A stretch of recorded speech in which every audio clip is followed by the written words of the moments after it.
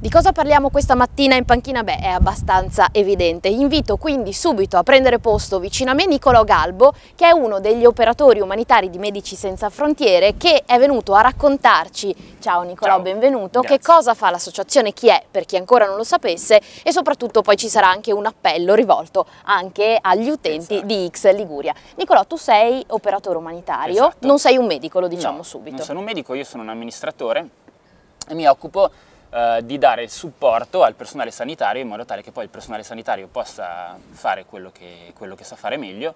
Immaginatevi un po' un, una specie, non so, un ospedale, in ospedale ci sono i medici, gli infermieri, ma ci sono anche tante persone che lavorano in supporto e io mi occupo di fare questo. E anzi, senza questo supporto probabilmente non ci sarebbero neanche i medici che fanno la parte, quella dura, durissima esatto. no, del lavoro, esatto. ma che hanno bisogno di tutto questo supporto. Esatto. Tu hai avuto anche delle esperienze Assolutamente sì, io faccio il lavoro un po' nascosto dietro, eh, sono con Medici Senza Frontiere dal fine 2008, quindi sono più o meno sette anni che lavoro, che lavoro con Medici Senza Frontiere, eh, lavorando nei, nei, luoghi dove Medici Senza Frontiere è presente. Um, e, e mi occupo sostanzialmente della gestione finanziaria dei progetti, quindi eh, diciamo, e la gestione pratica per dire fare pagamenti, ma anche eh, in maniera un pochino più generale la gestione dei budget, quindi assicurarsi che i fondi che Medici Senza Frontiere riceve per le sue attività siano usate come devono essere usati, quindi eh, per fare quello per cui li riceviamo e farlo in maniera eh, efficiente e efficace, quindi usare i fondi bene. Ecco. Com'è stata la tua esperienza all'estero?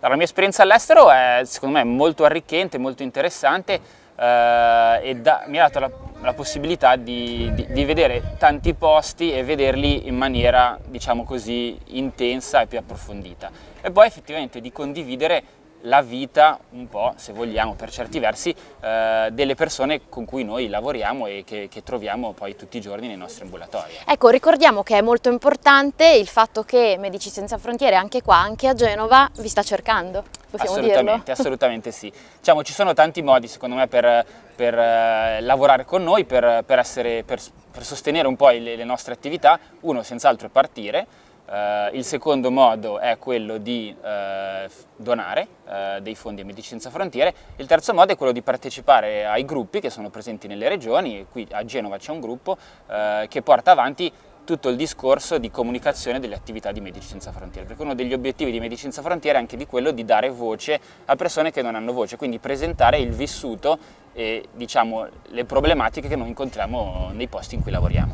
Alcune di queste voci io Nicolò so che le troviamo nel tuo consiglio letterario. Assolutamente sì, allora io posso proporre questo, questo volume che ha, in, in, noi eh, non restiamo a guardare, eh, che è un volume di un paio di anni fa, insomma qualche anno fa, non è facilissimo da trovare in libreria, nel senso che sono stati venduti abbastanza, però eh, l'obiettivo di questo libro è quello di presentare ehm, un po' il, il, vissuto delle persone che fanno questo lavoro, eh, presentando e un po' diciamo, quello che fanno e anche il modo in cui lo fanno e, e dare testimonianza un po' anche del, così, del coraggio e dell'ottimismo secondo me che queste persone, che noi abbiamo, ehm, nel, diciamo, nel voler trovare eh, la speranza nel voler coltivare il bene anche nei drammi, anche nelle disgrazie, anche nelle problematiche.